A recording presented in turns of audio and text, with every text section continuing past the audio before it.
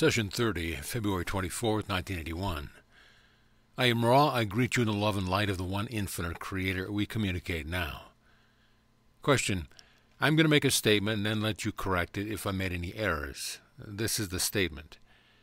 Creation is a single entity or unity. If only a single entity exists, then the only concept of service is the concept of service to self. If this single entity subdivides, then the concept of service of one of its parts to one of its other parts is born. From this springs the equality of service to self or to others. It would seem that as the Logos subdivided, parts would select each orientation. As individual entities emerge in space-time, then I would assume that they have polarity. Is this statement correct? Ra. This statement is quite perceptive and correct until the final phrase, in which we note that the polarities begin to be explored only at the point when a third density entity becomes aware of the possibility of choice between the concept of distortion of service to self or service to others. This marks the end of what you may call the on-self, conscious, or innocent phase of conscious awareness. Question. Thank you. Would you define mind, body, and spirit separately? Ra. These terms are all simplistic descriptive terms which equal a complex of energy focuses. The body, as you call it, being the material of the density which you experience at a given space-time or time-space, this complex of material being available for distortions of what you would call physical manifestation. The mind is a complex which reflects the inpouring of the spirit and the uppouring of the body complex. It contains what you know as feelings, emotions, and intellectual thoughts in its more conscious complexities.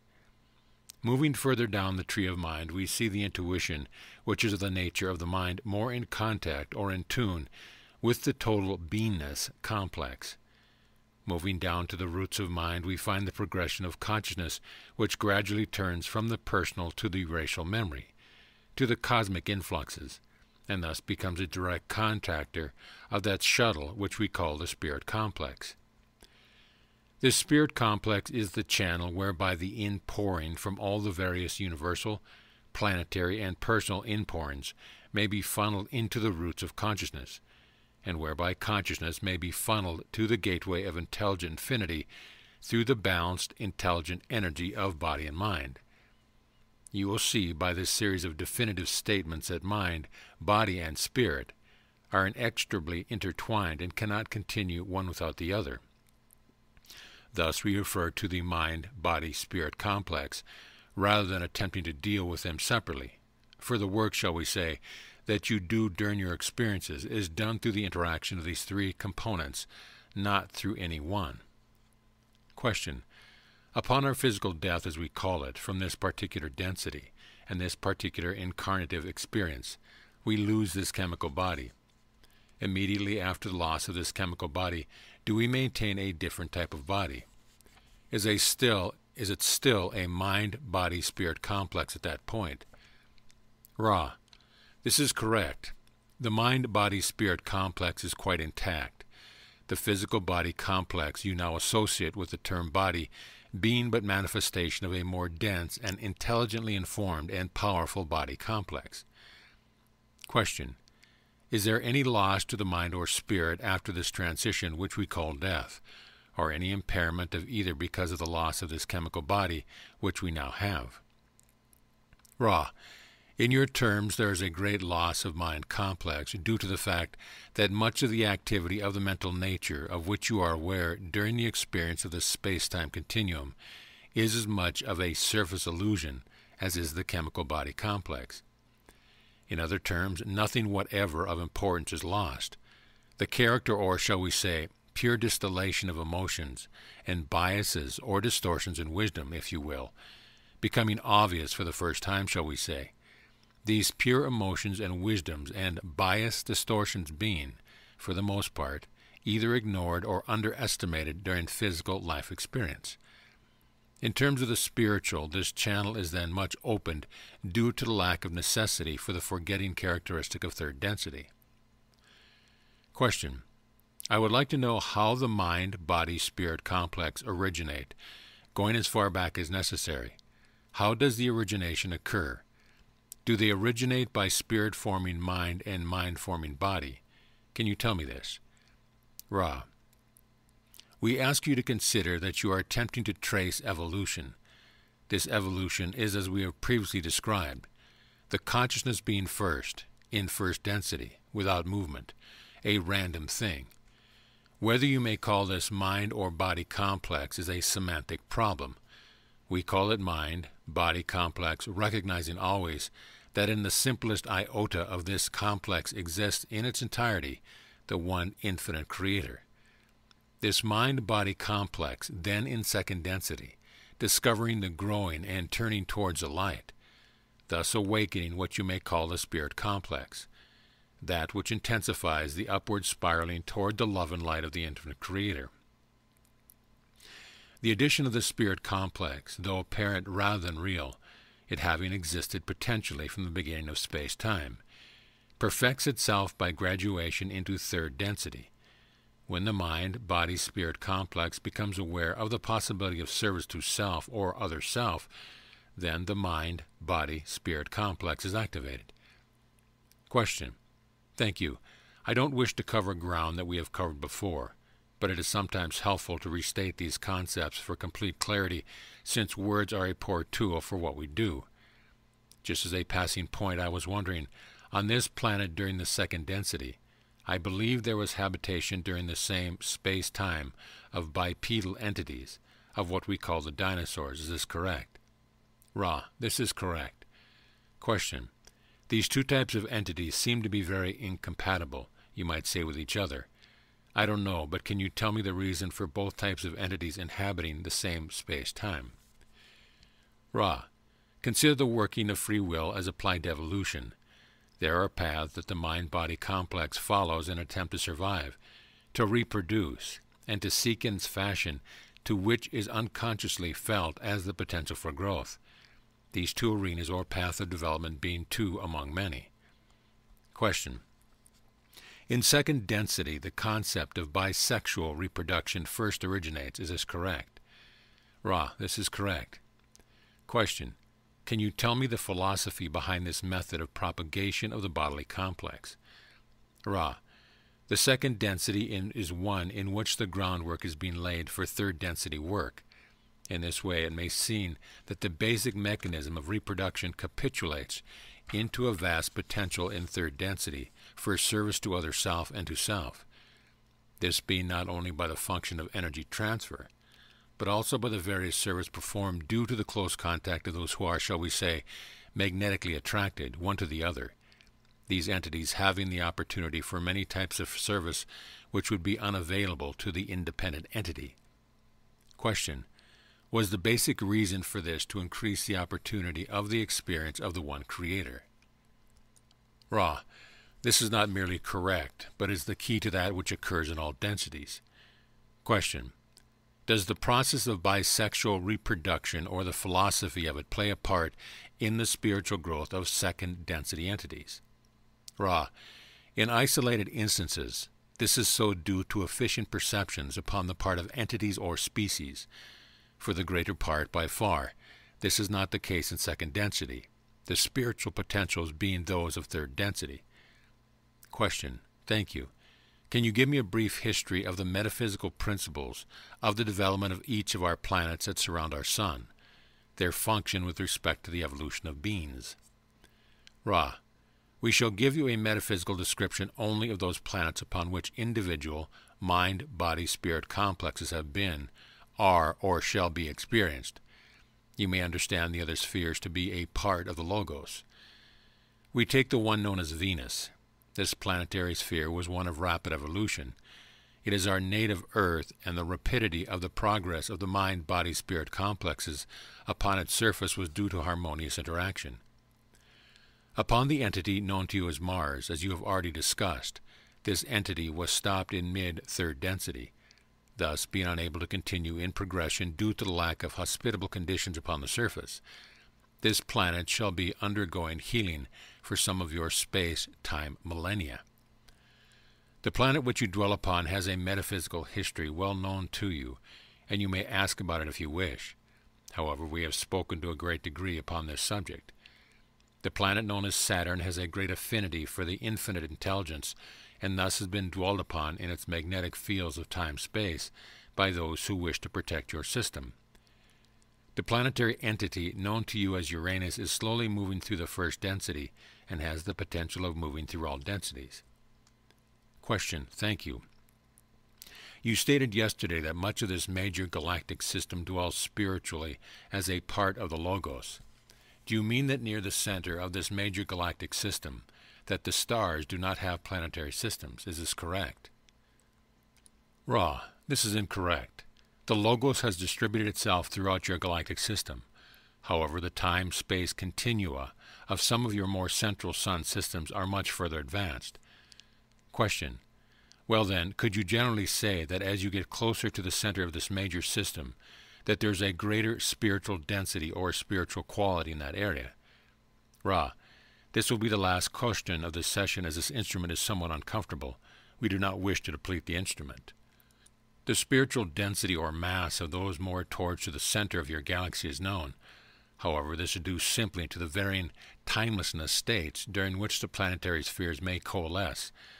This process of space-time beginning occurring earlier, shall we say, as you approach the center of the galactic spiral. Question. Is there anything we can do to make the instrument more comfortable or improve the contact? Ra, this instrument is well balanced and the contact is as it should be. The instrument has certain difficulties of a distortion you would call muscular spasm, thus making the motionless position uncomfortable. Thus we leave the instrument. I am Ra. You are doing well, my friend. I leave you in the love and light of the one infinite Creator. Go forth then, rejoicing in the power and the peace of the one Creator Adonai. Session 31, February 25, 1981.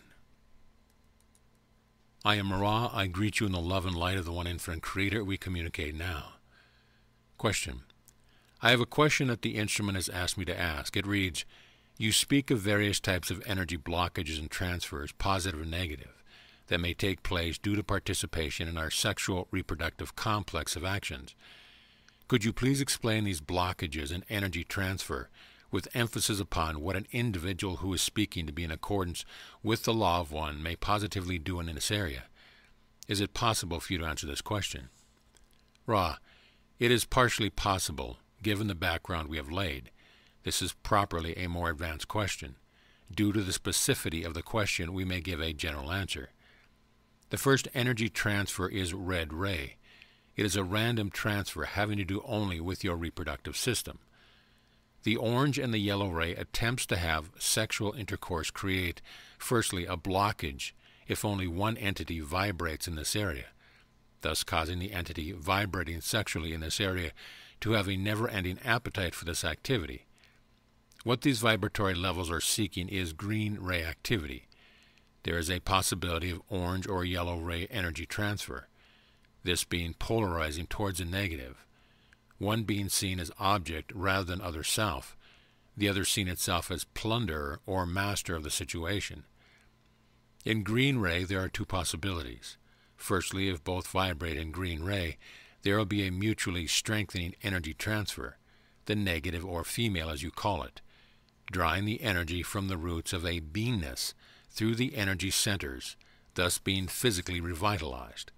The positive or male polarity, as it is deemed in your illusion, finding in its energy transfer an inspiration which satisfies and feeds the spirit portion of the body mind spirit complex, thus both being polarized and releasing the excess of that which each has in abundance by nature of intelligent energy, that is, negative, intuitive, positive, physical energies, as you may call them. This energy transfer being blocked only if one or both entities have fear of possession or of being possessed, of desiring possession or desiring being possessed. The other green ray possibility is that of one entity offering green ray energy, the other not offering energy of the universal love energy. This resulting in a blockage of energy, for the one not green ray thus increasing frustration or appetite, the green ray being polarizing slightly towards service to others. The blue ray energy transfer is somewhat rare among your people at this time, but is of a great aid due to energy transfer involved in becoming able to express the self without reservation or fear. The indigo ray transfer is extremely rare among your people. This is the sacramental portion of the body complex, whereby contact may be made through violet ray with intelligent infinity. No blockages may occur at these latter two levels due to the fact that if both entities are not ready for this energy, it is not visible and neither transfer nor blockage may take place. It is as though the distributor were removed from a powerful engine. Question. Could you please define sexual energy transfer and expand upon its meaning, please? Ra. Energy transfer implies the release of potential energies across, shall we say, a potential space.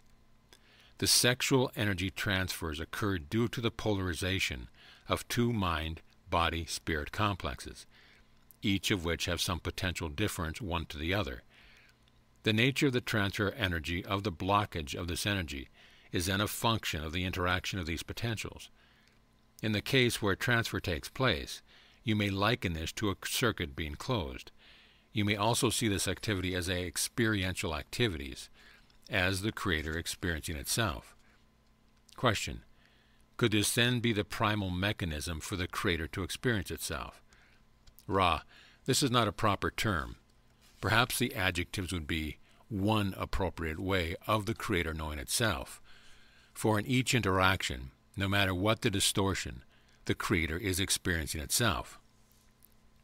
The bisexual knowing of the creator by itself has the potential for two advantages. Firstly, in the green ray activated being, there is the potential for a direct and simple analog of what you may call joy, the spiritual or metaphysical nature which exists in intelligent energy. This is a great aid to comprehension of a truer nature of beingness.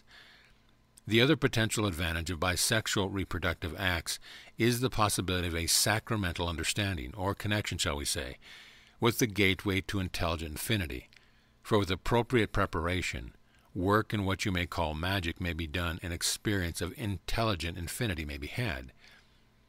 The positively oriented individuals, concentrating upon this method of reaching intelligent infinity, then, through the seeking or the act of will, are able to direct this in infinite intelligence to the work these entities desire to do, whether it be knowledge of service or ability to heal or whatever service to others is desired.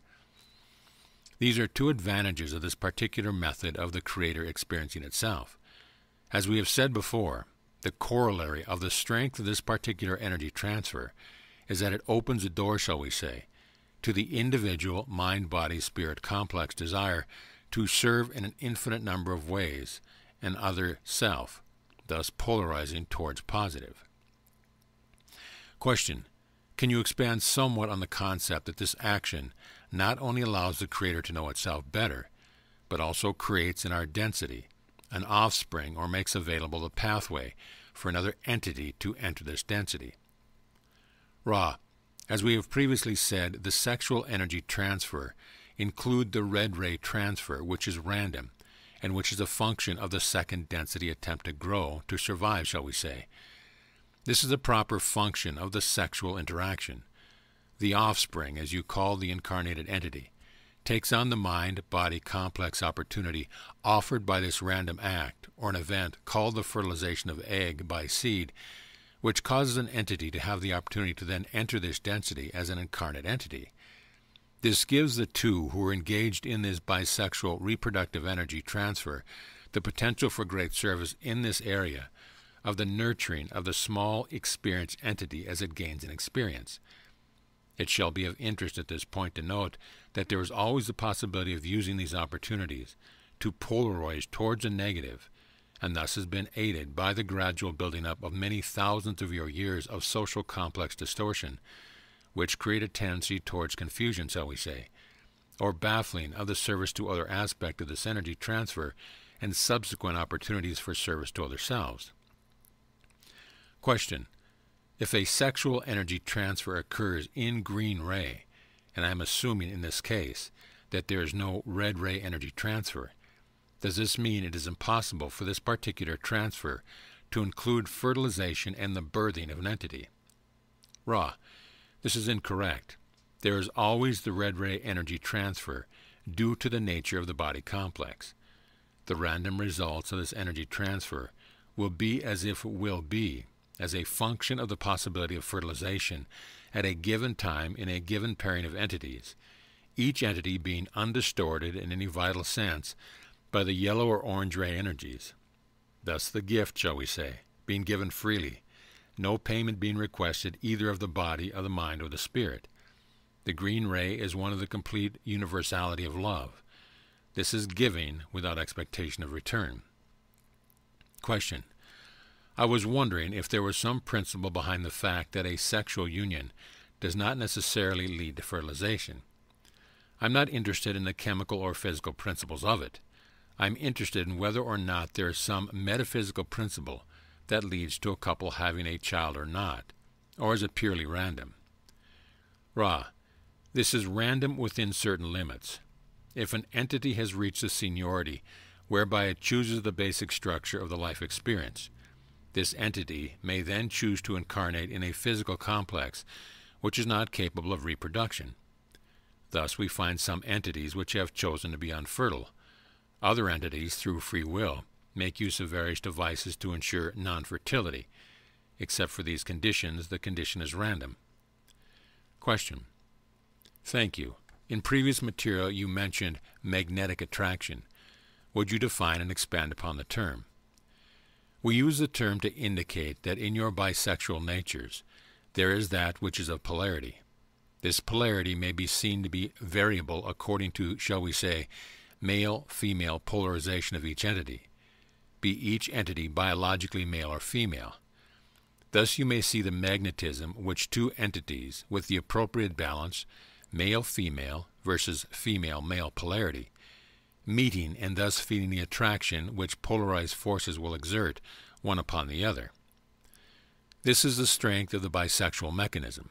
It does not take an act of will to decide to feel attraction for one who is oppositely polarized sexually. It will occur in an inevitable sense, giving the free flow of energy a proper, shall we say, avenue. This avenue may be blocked by some distortion toward a belief, condition, stating to the entity that this attraction is not desired.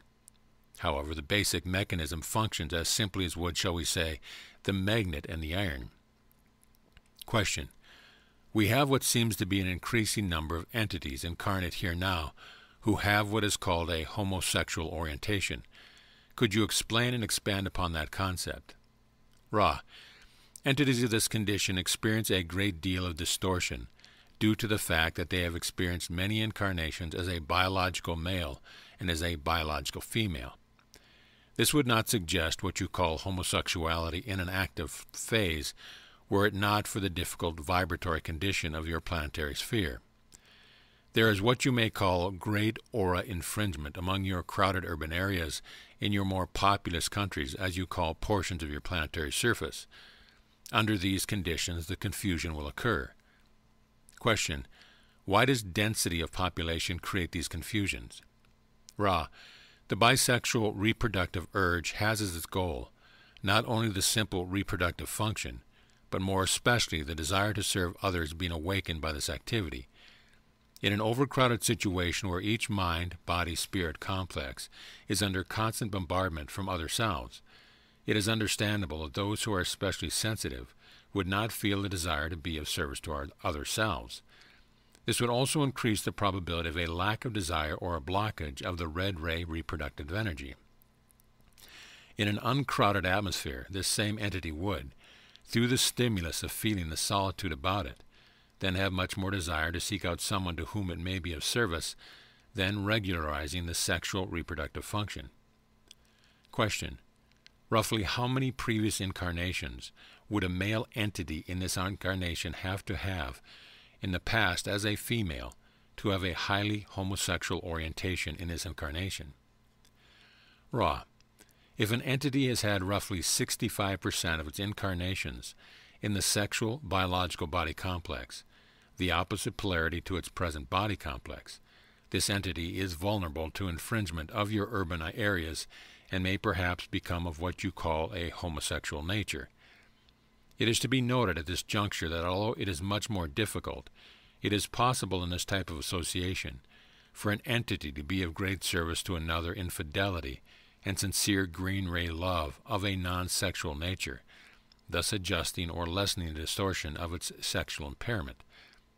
Question Is there an imprint occurring on the DNA coding of an entity so that sexual biases are imprinted due to early sexual experiences? Ra, this is partially correct. Due to the nature of solitary sexual experience, it is in most cases unlikely that what you call masturbation has an imprinting effect upon later experiences. This is similarly true with some of the encounters which might be seen as homosexual among those of this age group. These are often instead innocent exercise and curiosity. However, it is quite accurate that the first experience in which the mind body spirit complex is intensely involved will indeed imprint upon the entity for that life experience a set of preferences. Question Does the Orion Group use this as a gateway to impress upon entities preference which could be of a negative polarization? Ra, just as we of the Confederation attempt to beam our love and light whenever given the opportunity, including sexual opportunities, so the Orion Group will use an opportunity if it is negatively oriented or if the individual is negatively oriented. Question is there any emotional bias that has nothing to do with male female sexual polarity that can create sexual energy buildup in an entity? Ra. The sexual energy buildup is extremely unlikely to occur without sexual bias upon the part of the entity. Perhaps we did not understand your question, but it seems obvious that it would take an entity with the potential for sexual activity to experience a sexual energy buildup. Question I was thinking more of the possibility of the Orion Group influence certain members of the Third Reich, who I have read reports of having sexual gratification from the observation of the gassing and killing of entities in the gas chamber. Ra, we shall repeat these entities had the potential for sexual energy buildup. The choice of stimulus is certainly the choice of the entity. In the case of which you speak, these entities were strongly polarized orange ray, thus finding the energy blockage of power over others, the putting to death being the ultimate power over others, this then being expressed in a sexual manner through solitary. In this case, the desire would continue unabated and be virtually unquenchable. You will find, if you observe the entire spectrum of sexual practices among your people, that there are those who experience such gratification from domination over others, either from rape or from other means of domination. In each case, this is an example of energy blockage which is sexual in its nature. Question. Would the Orion group be able then to impress on entities this orange ray effect, if this is the way that this came about? If we go back to the beginning of third density, there must be a primal cause of this. Ra. The cause of this is not Orion. It is the free choice of your people. This is somewhat difficult to explain. We shall attempt. The sexual energy transfer and blockages are more a manifestation or example of that which is more fundamental than the other way about. Therefore, as your people become open to the concepts of bellicosity and the greed of ownership, these various distortions then begin to filter down through the tree of mind into body complex expression, the sexual expression being basic to that complex. Thus, these sexual energy blockages, though Orion influenced and intensified, are basically the product of the beingness chosen freely by your people. This will be the final question, unless we may speak further upon this question to clarify or answer any short queries before we close. Question. I just need to know then if this works through the racial memory and infects the entire population in some way. Ra. The racial memory contains all that has been experienced. Thus, there is some, shall we say, contamination even of the sexual, this showing mostly in your own culture as the various predispositions to adversary relationships, or as you call them, marriage, rather than the free giving one to another in love in the light of the infinite Creator. Question. That was precisely the point that I was trying to make. Thank you very much. I do not wish to overtire the instrument, so I will ask if there is anything that we can do to make this instrument more comfortable or improve the contact. Ra, please be aware that this instrument is somewhat fatigued. The channel is very clear. However, we find the vital energy low. We do not wish to deplete this instrument. However, there is, shall we say, an energy exchange that we feel an honored duty to offer when this instrument opens itself. Therefore, counsel we this instrument to attempt to assess the vital energies carefully before offering itself as an open channel. All is well, you are conscientious. I am Ra, I leave this instrument in you in the love and light of the one infinite Creator. Go forth then, rejoicing in the power and the peace of the one Creator, Adonai.